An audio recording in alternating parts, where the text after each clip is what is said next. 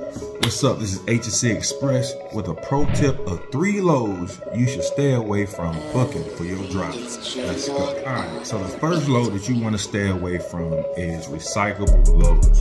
The reason you want to stay away from recyclable loads is that it messes up your trailer. You may have some recyclable stuff that may stink. Um, you may have recyclable stuff that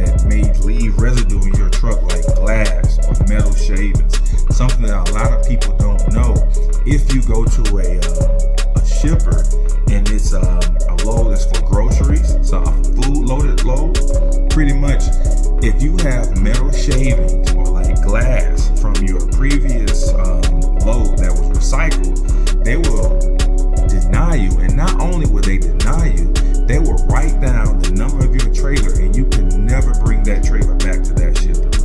That's something that a lot of people don't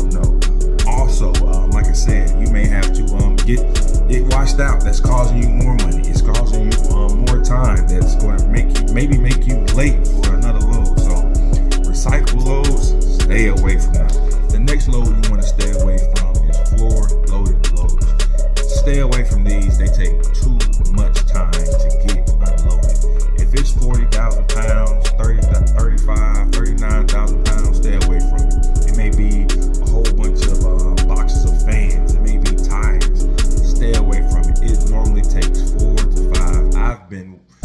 times it took six hours to unload a floor loader. So it messed us up for the next pretty much uh, pickup.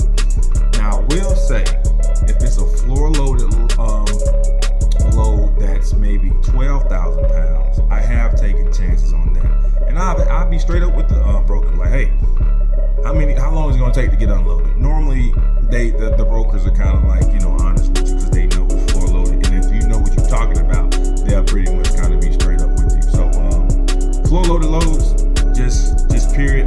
stay away from it, but um, there are some cases that I do take them. But floor loaded loads is definitely number two. All right, so number three on the list is cowhide. I was thinking about putting this um, up with recycle, but it's not recycled. Cowhide, don't get those. Period, point blank. I don't, unless they paying you a million dollars, do not get cowhide. When I tell you, it's going to mess up your trailer.